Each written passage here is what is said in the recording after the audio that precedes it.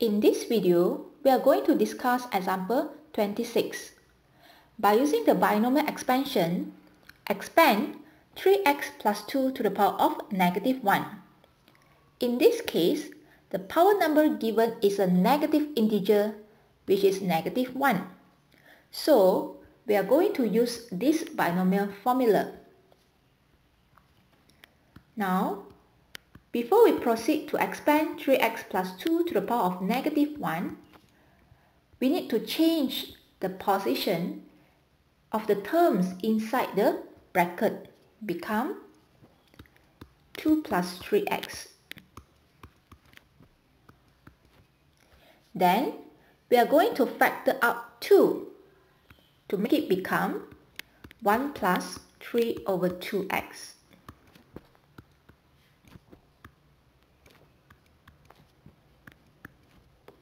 So here we have 2 to the power of negative 1 is 1 over 2 times with 1 plus 3 over 2x to the power of negative 1. Next, we are going to determine x and n by comparing 1 plus 3 over 2x with 1 plus x to the power of n. As we see here, x is equal to 3 over 2x and n refer to the power number which is negative 1.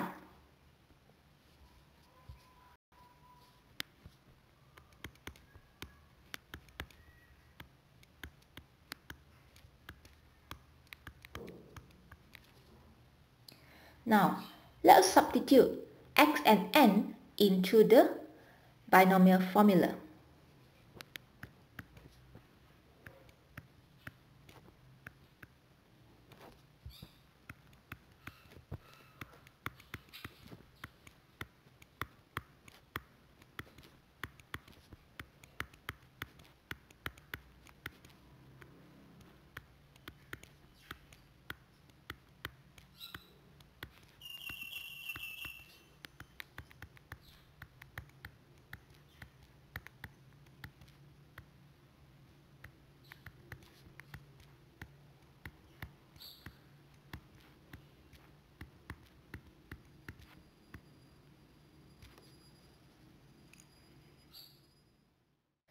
After making a substitution, simplify this expression.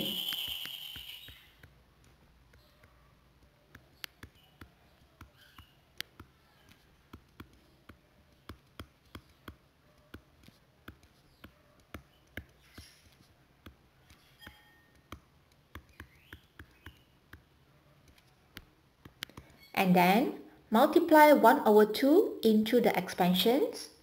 So we have 1 over 2 minus 3 over 4x plus 9 over 8x squared minus 27 over 16x cubed plus dot dot dot. Well, that's it. Thank you.